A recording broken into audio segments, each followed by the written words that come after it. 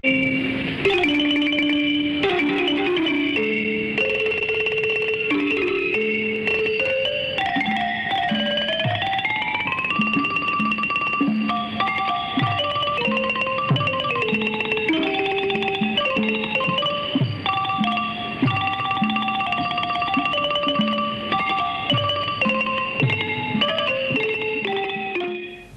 ความเจริญในพระธรรม จงบังเกิดมีแด่ท่านผู้ชมทุกท่าน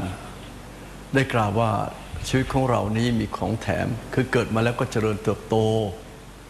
แล้วก็แก่ แล้วก็เจ็บแล้วก็ตาย ความเจ็บมันข้ามวัยได้ แล้วแต่กรรมเกณฑ์นายเวรตามาทวงว่าเกิดอะไรขันธมารความเจ็บป่วยวัจุมานตายเพราะความเจ็บปวด เทวุปตมานมันก็เกิดมาเป็นคนเป็นสัตว์ เออเป็นเทวดาก็มากันแกล้งเรา เพราะว่าเราทำเขา เขาก็มาทำเรา สิ่งเหล่านี้เป็นของแถมของชีวิต แต่เมื่อชีวิตมีของแถมต้องมีทางแก้ ประมาทไม่ได้ ว่าจะมีชีวิตถึงวันนั้นวันนี้ คือมีสัมมาชีพเลี้ยงชีวิตรักษาสินห้าให้กายวาจาหมดจด รักษาสินอุโบสถเพื่อเปลื้องปลดพันธะ แผ่เมตตาเพื่อกำจัดโทสะ ทำบุญสุนทานเพื่อประหารโลภะ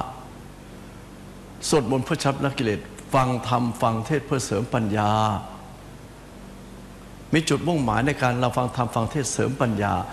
ฟังอะไรมันจะได้ปัญญา ความรู้ก็ได้ปัญญาอีกแบบหนึ่งแต่ความรู้มันก่อให้เกิดความโลภมันเป็นการดำรงอยู่ แล้วก่อให้เกิดความโลภความโลภที่เขากระตุ้นเราเนี่ยให้เกิดความโลภถ้าเราไม่มีพื้นฐานของการฟังธรรมฟังเทศในทางศาสนา ปัญญาที่เกิดขึ้นมานั้น มันเป็นยักษ์เป็นมารนะมันไม่ใช่ปัญญาสมมาทิฏฐิแล้วฟังธรรมฟังเทศเดี๋ยวนี้นะฮะ ใน Google ในโทรศัพท์มือถือก็ฟังไป ยาวๆนักก็เอามาเสียบเข้าท่านเขามีวิทยุขาย แล้วเขาก็มีโหมดสำหรับตั้ง มีเลขมีรหัส อยากจะฟังรูปใดก็ฟัง พระที่ตายคาพระเหลืองมรณภาพคาพระเหลืองน่าฟังทุกองค์ท่าน ยิ่งมีเสียงให้เราฟังนะน่าฟังทุกรูป ฟังแล้วจะแสดงแทงใจ เพราะปัญญาพุทธเจ้ามันแทงกิเลส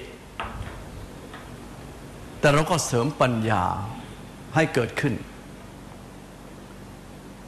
มาเป็นสมถวิปัสสนาเพื่อถอนตัณหาอุปาทาน ก็สงบจิตสิ ศาสนาพุทธมีวิธีสงบจิต เป็นอารมณ์ของกรรมฐานมากมาย วิปัสสนากรรมฐานจะอยู่ในมหาสติปัฏฐานสูตรก็ได้ จะกำหนดอยู่ในสัญญาสิบประการก็ได้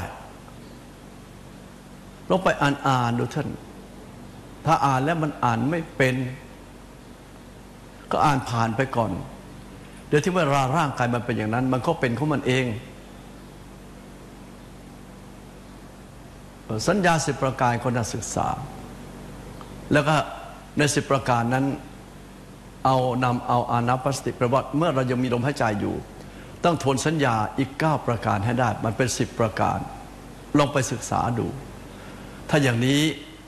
ของแถมที่เกิดมากับชีวิตของเรา แม้จะตายในวัยยังไม่มากนัก โดยโดยโรคภัยไข้เจ็บ ก็ถือว่าอยู่แล้วได้มนุษยสมบัติ ตายไปแล้วจิตดวงนี้จะไปสวยสวรรค์สมบัติ และเข้าถึงนิพพานสมบัติในภพชาติต่อๆไป